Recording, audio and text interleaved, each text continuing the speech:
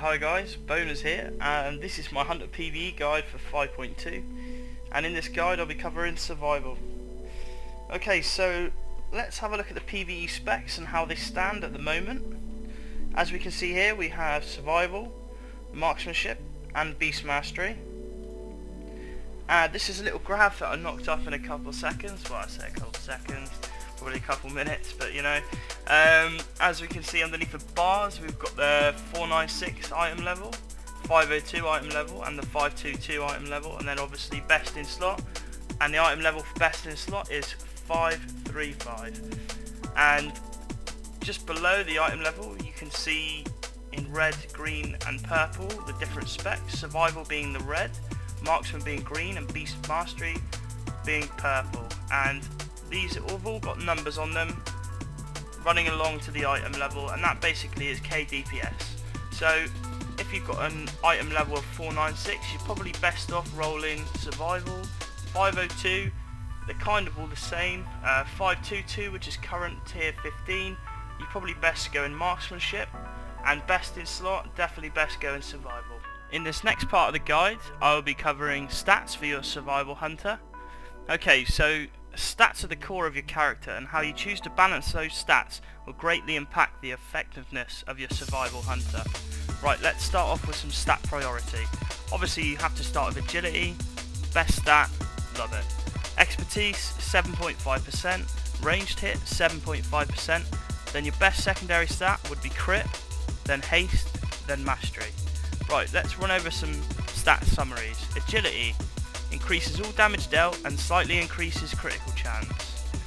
Okay, expertise 7.5%. The expertise cap of 7.5% or 2500 rating will eliminate your attacks from being dodged. So basically to view your expertise, open up your character screen and make sure it's 7.5%. Next on, ranged hit. Hit rating increases your chance to hit and at 7.5% ranged hit, or 2550 rating, your abilities can no longer miss on bosses. Check that you have 7.5% or you will lose DPS. Next is the best stat, which is crit. Increases the chance for your attacks to critically hit for additional damage, usually about 200% weapon damage or ability damage. So next one would be haste. This is going to decrease the cast time for such abilities as Cobra Shot also causes you to auto attack faster and increases focus regeneration. Right, and now the worst stat is Mastery. Essence of the Viper. Increases magical damage by 8% and for every 600 Mastery equals 1% more damage. E.g. 6000 Mastery would be 10% plus 8% would be 18% more damage. Right, let's move on to some reforging gems and enchants for your survival hunter. Okay, basically reforging allows you to modify the secondary stats on your gear. So when we reforge, we have to stick to the stat priority, which again is agility, expertise 7.5%, range 7.5%, crit, haste, then mastery. Okay, so after reaching the hit and expertise cap, make sure to max out your secondary stats. So basically go by this rule. On any gear without crit or haste, reforge the weakest stat into crit or haste as available. If crit is unavailable, reforge to haste. Okay? Right, now I'll have a look at some enchants for your survival hunter. And on the shoulders, I would definitely go for the Greater Tiger Claw, which gives you 200 agility and 100 crit rating. On the cloak, again, crit being the best secondary stat, I would go for 180 plus crit, or if you really need the hit, go for the cloak accuracy enchant. On the chest, it's uh, glorious stats, which is plus 80 to all. Uh, braces, which is greater agility, 180. Gloves, again, if you need expertise, go for the expertise. If you don't, go for the haste. On your belt, what you want is a living steel belt buckle and what that does is gives you an additional gem socket. Um, on the legs you want a shadow leather leg armour which is 285 agility plus 165 crit. Boots which is blurred speed, increased movement speed and 140 agility. On your weapon, you want Lord Blastington's Scope of Doom, which sometimes increases agility by 1800 for 10 seconds. Right, now some gems that would be really useful. Uh, for your meta gem, you want to be using an Agile Primal Diamond, 216 agility, plus 3% increased critical damage, which is amazing. And any prismatic sockets, which will be from either blacksmithing if you have an additional socket, or your living steel belt buckle, just use a delicate primordial ruby, which is 160 agility. For the blue gems, use Glinting Imperial Amethyst, which is 80 agility and 160 hit, or use the Accurate Imperial Amethyst, which is 160 hit, 160 expertise. For the red gems, use a Delicate Primordial Ruby, which is 160 agility, and for the yellow gem sockets, use a Deadly Vermilion Onyx, uh, 80 agility and 180 crit, or a Deft Vermilion Onyx, which is 80 agility and 180 haste. Okay guys, in this part of the video I'm going to be running through some talents, some glyphs, and how to spec your pet. Okay, basically talents and glyphs allow us to tweak our hunter to the encounter, but what I'm going to show you today is, is the, just the baseline for DPS, survival and utility. Okay, and our first talent is Post Haste. Uh, your disengage frees you from all movement impairing effects and increases your movement speed by 60% for 8 seconds. Okay, this is extremely useful. I cannot remember how many times that this has actually saved me from dying, from being somewhere I shouldn't have been and I need to get to somewhere else very fast. Okay, um, next one is Silent Shot. Some bosses still allow you to interrupt some spells, some elite mobs on the way to the boss, you can interrupt them, still a very good talent. The next one would be Aspect of the Iron Hawk. Basically this just decreases all damage that you take by 15% and still gives you 15% attack power. Now a lot of people moan and say they want to take consideration but no. It's a lot more beneficial if you take Iron Hawk just because you'll be getting 15% less damage for the whole length of the encounter. Okay, in the next talent, it's going to be Dire Beast. Summons a powerful wild beast to attack your target for 15 seconds. Each time the beast deals damage, you'll gain 5 focus. So this is very good, gives you a small amount of DPS, and but the main thing is it gives you focus regeneration to use on other abilities. The next one again is Murder of the Crows. This one does a lot more damage than Blink Strike and Lynx Rush, so this is a number one choice for me. And if you use it when your target is below 20% health, the cooldown is reset to 60 seconds. And finally, for the level 90 talent, I'd go for Glaive Toss. Again, it's 15 second cooldown, 40 yard range, low focus costs, it's a no-brainer. Right, now let's move on to some glyphs. Now the first glyph you want to take is Glyph of Animal Bond. This is amazing. While your pet is active and all healing done to you and your pet is increased by 10%. So that instantly gives your healers 10% more healing on you and your pet. The next one would be Glyph of Deterrence and this increases all damage reduction granted by 20%. So now you'll be having 50% damage reduction. And whenever you need an encounter to migrate some damage, that is a perfect glyph.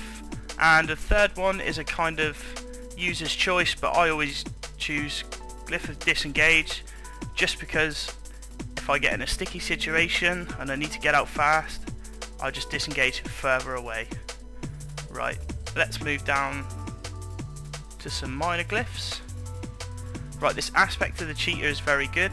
If your job role for the fight is to kite some adds, and basically what this does, this stops you from getting dazed because if you didn't have that glyph and you got hit, you'd be dazed for 4 seconds. But with this glyph you can kite and all that happens if you get hit is just your aspects go on a 4 second cooldown. Right, um, the other two are just glyphs to help improve your utility. Um, glyph of aspect of the pack basically increases the range of your aspect of the pack by 15 yards. Not major, but it still helps. And Glyph of Revive Pet, if your pet ever dies, which it does happen, and you're getting hit from Bob, the boss or adds, you want to reduce all the pushback. So this reduces that by 100%. Right, and now currently the best spec for your pet is ferocity. Obviously because it combat experience increases all damage done by 50%. Spiked collar increases a pet's attack speed by 10% and your own. Rabid increases your pet's attack speed by 70% for 20 seconds. Okay, in this part of the guide I'll be covering the DPS rotation and cooldowns. First things first, what you want to do, you want to put your aspect of the Iron Hawk on, aspect of the Hawk. After that you need to execute the following priorities. Apply your Hunter's Mark, uh, basically maintain the debuff, apply Serpent Sting, and refresh it with Cobra Shot every time. Use Explosive Shot and cooldown, and when you get a lock and load proc, make sure you quickly cast 3 Explosive Shots. Use a Glaive Toss and cooldown, kill shot when the target is below 20% health, always save 40 focus for your Black Arrow, and then Arcane Shot to dump focus, and Cobra Shot to build focus. Uh, so now on the AoE rotation, and this is a recommended rotation for when attacking four or more mobs. Okay, so basically at first you use Explosive Trap instead of Black Arrow, you multi-shot as your focus dump, and your multi-shot benefits from Serpent Spread to put Serpent Sting on all the mobs, so if you use that rotation you'll get very high DPS. Okay, we'll move on to effective cooldowns. These obviously these effective cooldowns are available if you choose them in your talent build. So Murder of the Crows, use it on cooldown. Dire Beast, use it on cooldown for extra focus. And there are some additional extra cooldowns to take into consideration. Obviously you have Rabid from your pet, so use that on cooldown. So either stack it with Rapid Fire or Bloodlust. But guys, make sure you don't stack Rapid Fire with Bloodlust. You don't want to be stacking it with Bloodlust because your Cobra Shot will just be, it'll mess up your rotation and you want to keep your Cobra Shot down for as long as possible. So maybe after Bloodlust, use Rapid Fire, then Readiness, then Rapid Fire again, okay? So basically Readiness resets all the cooldowns except, except Stampede, so use that to chain DPS cooldowns and obviously use Stampede as often as possible, usually on the pull of the fight and midway in the fight. Okay, so now I'm going to do a short video for you on the rotation, I hope you enjoy. Hey guys, okay this is just a small video on a rotation. Okay, so what you want to do is you want to apply Hunter's Mark, uh, start with Stampede, then Murder of the Crows, Rapid Fire, Serpent Sting, Black Arrow, keep Cobra Shot in, focus, as soon as Explosive Shot comes on cooldown, use it, and again, see I had a proc, do triple Explosive Shot, Cobra Shot again to build focus, Explosive Shot, and use Arcane Shot to dump some of that focus, but make sure you keep 40 focus for your Black Arrow, and again, 3, there we go, enough for the Black Arrow, I pop Readiness again, and my Murder of the Crows has ended so I can now repop that and rapid fire. Three explosive shots and again I have enough focus my black arrow. And and what I'm doing is also maintaining serpent sting. Uh, that's basically it guys. Just keep using your cooldowns. Keep track of it as you can see on the left hand side. I have uh, tracking of my cooldowns so I can see when I need to reapply stuff. And just stick to the guide and you should be pulling good DPS. I want to shout out to Bonaz as well who's supported me in my videos. Just give me a nice pet. Thank you very much mate. And that's it. Cheers. Bye. So thanks for watching the video guys. Uh, please like and sub. Please leave a comment. Um, if you don't leave a comment tell me how I've done, what I need to improve, I'll never be able to improve.